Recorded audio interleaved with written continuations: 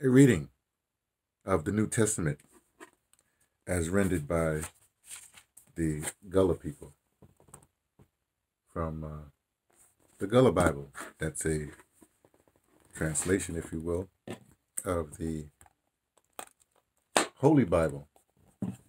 And it would be good if I found my glasses so I could read. Where would I have my glasses at?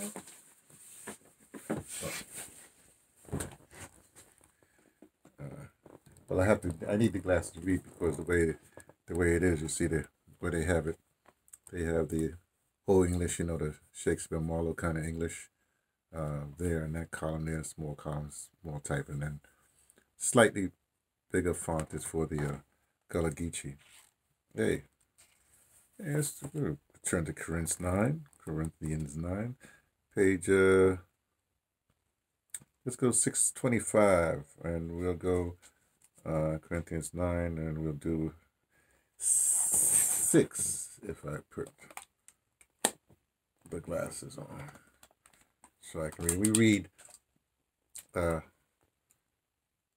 up to six times a week from the Gullah Bible because I'm trying to, I'm connecting with my, with my maternal Gullah side and figured, you know, well, we'll talk about that in a second. Let's just go. Did I say six? Okay. What I mean for say, the one with, the one where ain't plant but a little bit of seed ain't never gonna have a big crop.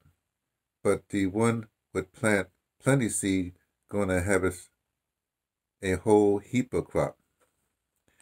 And the translation Old English is, But this I say, he which soweth sparingly shall reap also sparingly, and he which soweth bountifully shall reap also bountifully. That's common sense, no? I guess. Unless you got a lot of people, uh, we won't make any comment. We just, we just, we just read, uh, uh, and then on Saturdays, which should be in a couple of days from now, then we explain things further. But uh, basically, uh, my curiosity is like, how did my, you know, my maternal side, you know, those the, the, the newly freed people get to be so, so literate so quickly, you know, learn to read and write so quickly. And the answer was the only book they had was the Bible, so they dealt with the Bible, and this is a translation of the Bible. So again, let's go to um, uh, Second Corinthians nine, and this is six.